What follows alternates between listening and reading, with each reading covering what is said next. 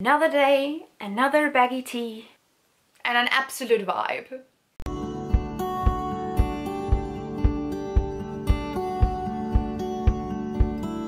Hello everybody and welcome back to my channel. My name is Gittemary and today is the continuation, the part two of me reacting and responding to your eco dilemmas. Thank you so much for joining in and also feel free to join in in the comments if you have any additional points to any of these dilemmas. I'm sure that will help out a lot of people. I've also left a link to a part one in the description so feel free to check that out as well. Now let's get into the dilemmas.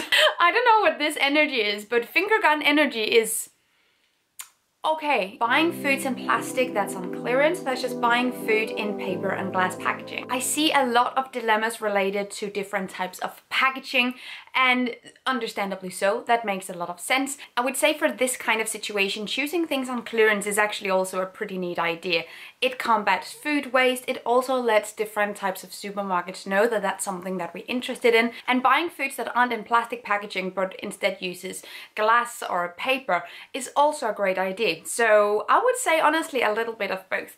A good thing to consider when looking at what kind of packaging is the most sustainable is also thinking about what type of recycling you have available near you. For instance, if you don't have glass recycling, glass is actually a really unsustainable material to use as packaging. The reason why glass can be considered a sustainable material in the first place is because it can be recycled indefinitely without losing quality and also it doesn't leak chemicals into your food and yada yada. But if you don't have access to glass recycling and thus the glass packaging you're buying will go to landfill, then glass is not really a sustainable option. So it all depends on what kind of recycling is available to you. But buying food on clearance is obviously also a great idea.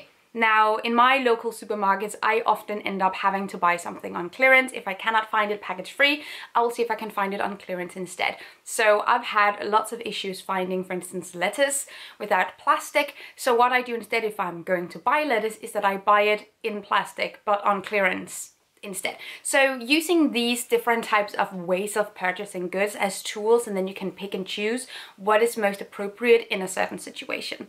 I hope that helps. Is it more sustainable to make your own clothes than to buy new clothes? That all depends on how the material, like how the fabric is produced. Because if the fabric is produced unsustainably or if the fabric is produced in sweatshops, then it's the same, I guess. But if you get secondhand fabric, if you upcycle things in your wardrobe, if you buy secondhand clothes and you make them into something new, obviously that's going to be more sustainable but the impact of buying just fabric at a fabric store again also depends on how that piece is produced because sometimes you have the option of buying really good organic GOTS certified like A plus fabric and then of course that will be better than buying new clothes. But if the fabric is made in the same place where the clothes is made but overall making something yourself is oftentimes going to be more sustainable than buying it pre-made. Now when I posted this story, like do you have any dilemmas I can react to? Ah, I think one of the most frequent questions I got was related to what is more sustainable, buying package-free conventional produce or buying organic produce wrapped in plastic. And I wanted to react to that, but I didn't feel like I had time to do it in this video, so I made an entirely different video all about that.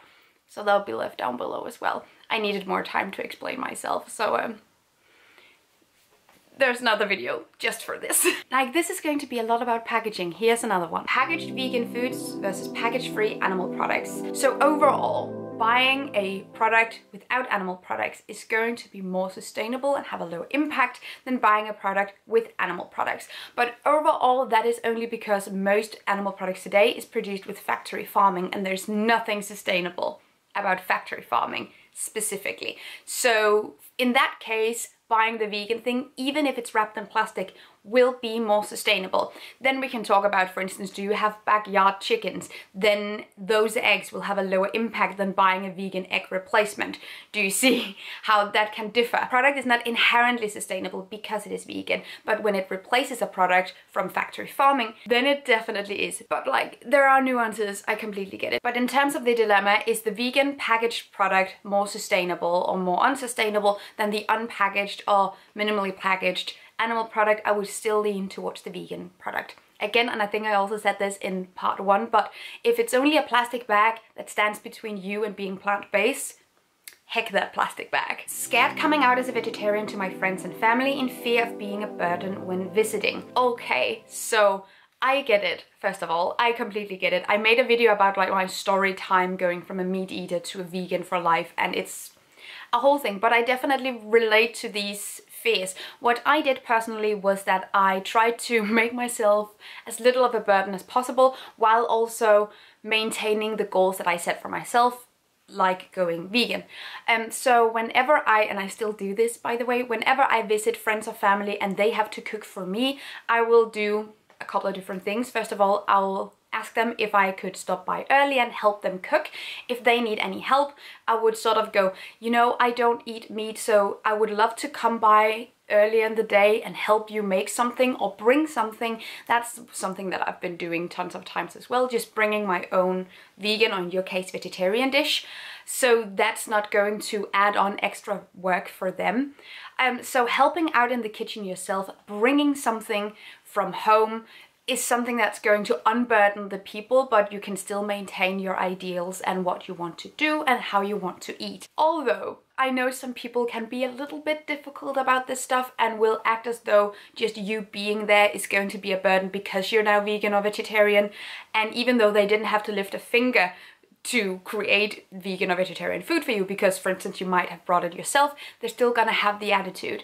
And um, that's most likely because some people don't really understand. I still deal with this stuff and for the most part I just ignore it. I try to help other people out as much as I can but I also don't want to compromise my own ideals and goals to make other people feel more comfortable. Being a student on a tight budget but want to live sustainably. I see you. I started my zero waste experiment when I was still at university where I had very limited funds. Um, so I completely know what that means. Usually whenever we want to start living more sustainably, we look at all these products that we ideally should buy in order to achieve the sustainability. But that's not really how sustainable lifestyles work. So you don't have to go out and buy tons of new expensive products to achieve your sustainability goals. You can start by having a no buy month or generally just any type of shop stop. You can start implementing more plant-based meals. Lentils and beans is less expensive than meat, for instance. You can also start looking at the recycling options, compost options, all these things, they don't really require you to spend more money. Then there's secondhand shopping, pre-loved shopping, which tends to be less expensive than buying things from new. I remember when I started implementing these things, I found that I actually ended up having more money by the end of the month because there were so many things I didn't do anymore. By reducing my consumption of different things and by being mindful of what I was buying, I ended up with more money, which I could then put into the things that might be a little bit more costly. Like sometimes buying in bulk tends to be a little bit more expensive than buying the cheapest option in the supermarket. Sometimes the farmer's market is a little bit more expensive. Then I suddenly had money to do those things. But I also have a video about my budget and how I spend money as a zero waster. So if you want more information about this, I will leave that link down below. How to stay on a healthy vegan diet with others eating sweets and unhealthy stuff around you. Okay, so I might end up tapping into something a little bit personal here, but just hear me out. I have had a lot of eating troubles.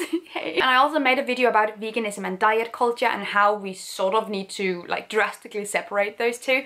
And I would be very cautious, or at least I am in my own life, I'm very cautious about applying morality to food and labeling something as healthy or unhealthy because usually it's the amount of the things that you eat, the variety and the balance of it. So labeling all burgers as unhealthy and like a no-no food tends to have a bad effect on your mental health. Or let me rephrase, it was detrimental to my mental health. So I completely understand that you want to stay on a good vegan diet. If what is meant by this is that it's very hard to be vegan because people around you eat meat or dairy products, etc. and you sort of start to crave them because you see other people eat them, that's definitely another story but if you're referring to like snacks or sweets or unhealthy stuff and wanting to stay on a healthy vegan diet like you can have a vegan burger or vegan sweets once in a while. That's not a bad thing. It's, it doesn't make you an unhealthy vegan to have a couple of snacks once in a while. Honestly, I think that is what adds to having a balanced and healthy relationship with food, that you're able to do that once in a while. So if your friends are having burgers, then have a vegan burger. Or if your friends are buying snacks, then buy vegan snacks.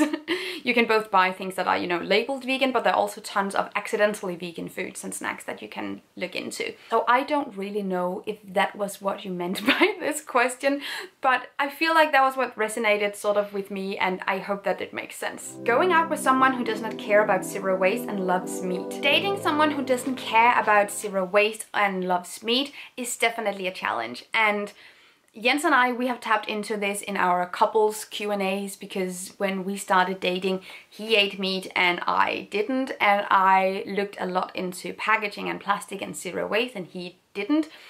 And I actually mentioned this question to him and I should have maybe brought him in, but he's at work right now. But what he said was that you're also completely unrelated to your values. If you don't want to compromise in a relationship, if you don't want to hear the other person out or do something because the other person feels good about it or has goals they want to achieve and you don't want to help them, that's kind of a dick move. I mean, true. So obviously people in a relationship are still their own individual entities and they have their own right to choose things. But if you really care about veganism and if you really care about zero waste and their partner has absolutely no interest in it, it doesn't really seem like there's a lot in common.